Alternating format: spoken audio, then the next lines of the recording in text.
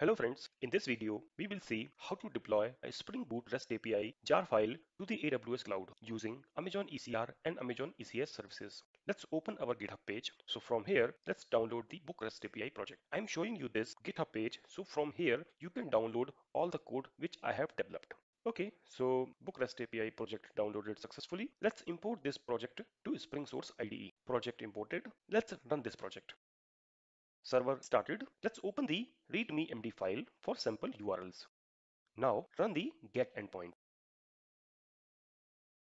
See, it is working and returning six book objects. Now before deploying the jar file to AWS, we have to create a Docker image. So for that, we need to add some code in the Docker file. But in this project, we don't have a Docker file. So first, let's create a Docker file. Inside this file, let's add some basic instructions like the Java version and from where it can find the jar file. What should be the running port number and what should be the command to run the jar file.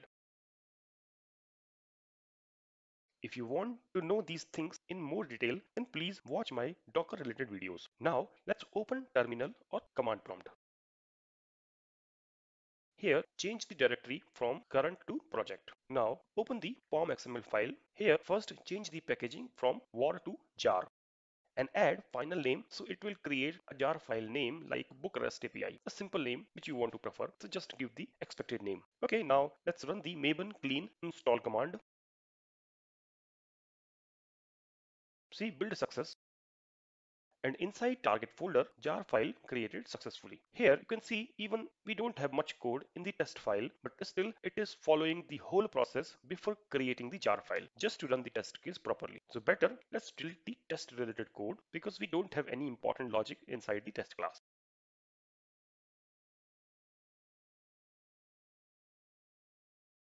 Okay, now run again the maven clean install command See again build success, but this time log is in very few lines. See inside target folder jar file created successfully. Now we have a jar file, but we want to convert this jar file into a Docker image. So here is our Docker, which is up and running. Currently no containers are running and we don't have any Docker image. Again, if you want to learn about the Docker, then please watch my Docker related videos, link in the description. Let's see how to create a Docker image. So here is the command which can create a Docker image. And the command is like docker build hyphen t book REST API API and dot. See image creation process starts. And Docker image created successfully. Even here also you can see book REST API image. Now before deploy this image to the cloud, better let's run this image and see it's working or not. So simple click on the run button. Give some container name. So if you don't give, it will pick some random name. Give the port number, like we change the default port from 8080 to 8081. So give that. Okay, now click on run. See, container started. Click to see the log. Here you can see the project log. And the server started and running on 8081 port number. Let's check again. The get endpoint is still working or not. See, still working, same as earlier.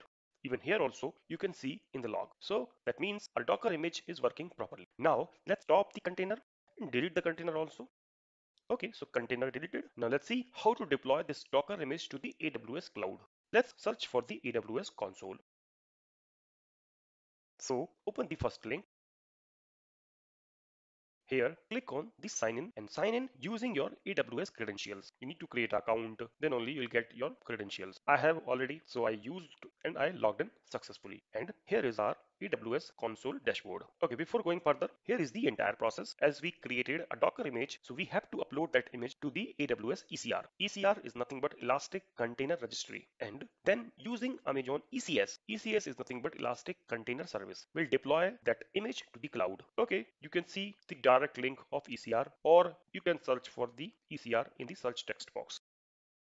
Now let's open the ECR so here you can see no repositories were found. So first let's create a new repository.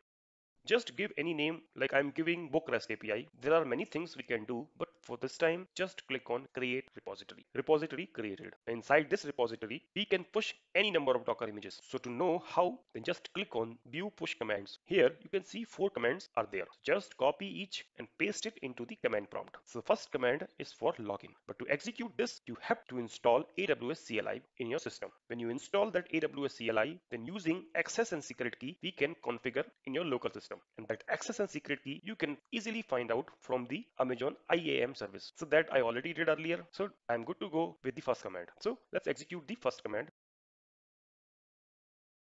and see login succeeded.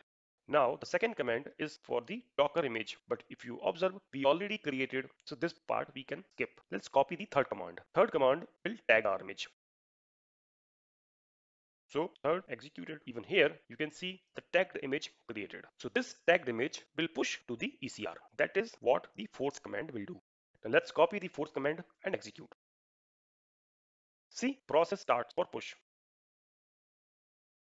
And Docker tagged image pushed successfully to the Amazon ECR. Now close this pop-up and click on refresh. See now one record is showing. Okay, ECR related work is done. Now open Amazon ECS and from the left side there is a link for Amazon ECS. Okay, here first we have to create a task definition. Now click on create new task definitions button. Here we'll choose launch type as Fargate. This is the best compatible for the Docker image. Now click on the next step. Here give some task definition name, select task role, now choose task memory and task CPU. I'm choosing the lowest one because it's not free, it's chargeable. So better go with the less configuration. Now click on add container. Here we need an image URL. So copy from ECR and paste it into the image text area. Give some container name. Memory limit, I am selecting hard limit and giving value like 512. Memory limit like allocation memory to tasks. Given memory units of an Amazon ECS container instance will use when a task is running. Give the port number like 8081. For this time, leave all advanced container configuration parameters blank and click on add. Okay, now click on create. So task definitions and CloudWatch log group were created successfully. CloudWatch log group will use later to see the application log. Now go back. See here is the information about the task definitions. Now click on cluster click on create a cluster. What is a cluster? So the cluster is a pool of computing resources available to an application. Pool of resources like CPU, memory and networking resources. Here select networking only cluster template. Click on the next step. Give a cluster name. Let's go with the default and click on create. Okay, cluster created. Now click on view cluster. And here inside services, click on create. Select launch type as Fargate. Give some service name here we can run any number of tasks, but for this time, I'm just giving only one. Now click on the next step. Here, choose cluster, VPC and subnet. Subnets are multiple, so choose any one. If you don't want to use these subnets, then you need to create your own VPC, your own subnet based on your regions and all. That it depends. But just to make it simple, I'm just going with the default configuration. And for security groups, click on edit. Here, type we need to change from HTTP to all TCP. And click on save. Click on the next step. Again, click on the next step and now click on create service. All three were created successfully. Click on view service. Click on the task link. So here you can see deployment is pending. Let's refresh. See now the status is running. Let's open the CloudWatch logs. Here is the link. And here is the public IP. By using this only, we'll access the book REST API endpoints. Here you can see the application log, See server started and running on 8081 port. Obviously, localhost won't work, so let's replace this localhost with the public IP. See, here is the public IP. See, API is working fine.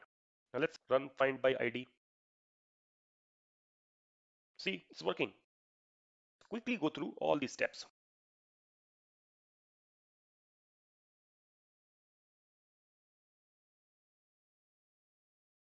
And that's it for this video. I hope you learned something from this video. We'll meet you soon with another video. Till the time, please feel free to like, share, comment and subscribe. And don't hesitate to perform this activity. Please do that. Thanks for watching this video.